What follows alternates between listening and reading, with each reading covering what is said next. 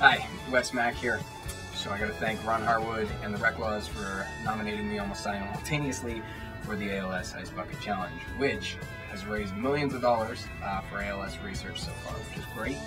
Just a reminder to everyone out there when you're doing these, I've seen some pretty funny ones, but make sure you're, you're not opening up your pockets and encouraging people to give. So for myself, this fantastic Canadian $100 bill that you can see through.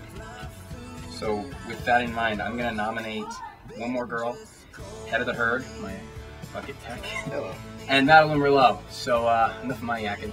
Let's boogie.